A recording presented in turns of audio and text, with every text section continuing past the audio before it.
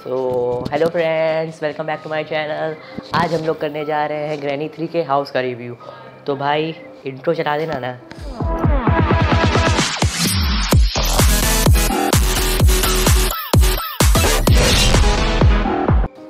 तो भाई लोग, मैं पूरे वीडियो में शांत रहने की कोशिश करूँगा और तुम लोग वीडियो एंजॉय करो शांति से और मेरे चैनल को कर दो सब्सक्राइब लाइक कर दो शेयर भी कर दो और silent mode on